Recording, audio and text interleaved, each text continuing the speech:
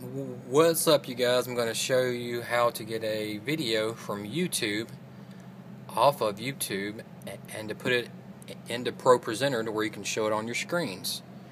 Uh, very very popular request. Here's what we're going to do. We're going to minimize Pro Presenter and then I'm going to open up uh, Firefox real quick. Uh, this is a uh, YouTube video that I found here called Your Love Never Fails and we're going to get this video into ProPresenter. First of all, I'm using the bookmarklet called uh, PWN YouTube. Uh, if you don't have this bookmarklet, just uh, Google search it. You'll find the bookmarklet and you'll drag it, drop it right into your bookmarks bar here like I did.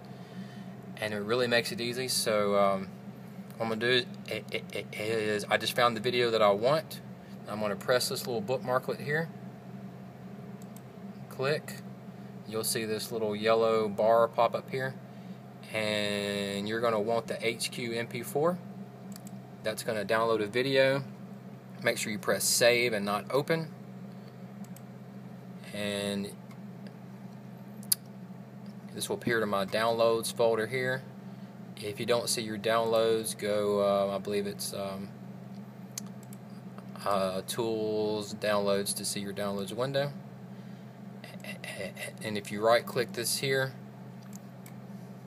click show in finder that'll show you where that movie is. And you and this is very important you want to make sure you drop that video into your movies folder. Okay so you click the name of your user. Um, video got lost let me go back to it again. R right click show in finder. There it is right there let me just drag it to my desktop real quick. Okay, there it is on my desktop.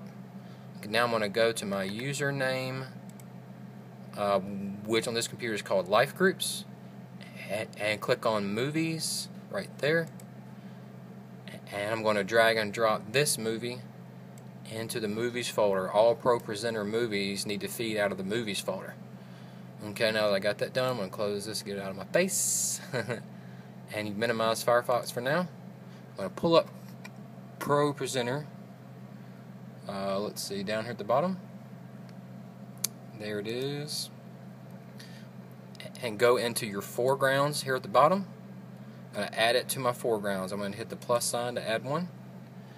And I'm going to navigate to my movies folder, which is going to be whatever your user is, life groups on this computer, movies, and there it is there. You can also, on um, most Macs, you can also do today's file since we downloaded today. You, you, you, should see it right there, an MP4 file.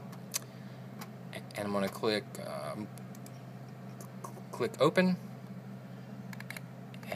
And there it is right there, I think. Yes, there it is. And we're going to test it, make sure I got audio. Yes, I do. And that's all there is to it.